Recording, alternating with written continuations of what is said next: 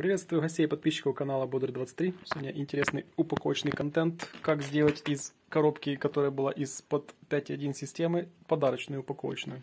Вот мы с помощью нашего принтера, который я восстановил, печатаем вот такие вот листочки и это все дело упаковываем, потому что в нашем Чудо-Подольске не нашлось вечером ни одного магазина цветочного или подарочного, который бы упаковал бы. Вот так вот. Вот так живет провинция, поэтому выходим из положения как могем. Next slide по мере успеха. А вот и next slide, господа. Любое печатание цветным превращается в дозаправку принтера. Все это было успешно проведено. Плюс, так сказать, отходы сделаны. Но лайфхак.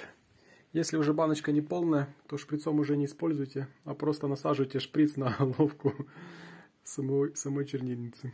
Да, бред, но работает. Next слайды.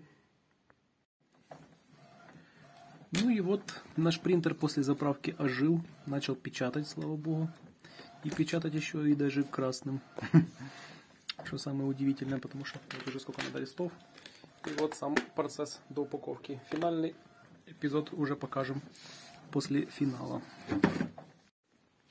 Ну что ж, дамы и господа, вот и финал наших стараний. Все-таки упаковка из А4 получилась на ура.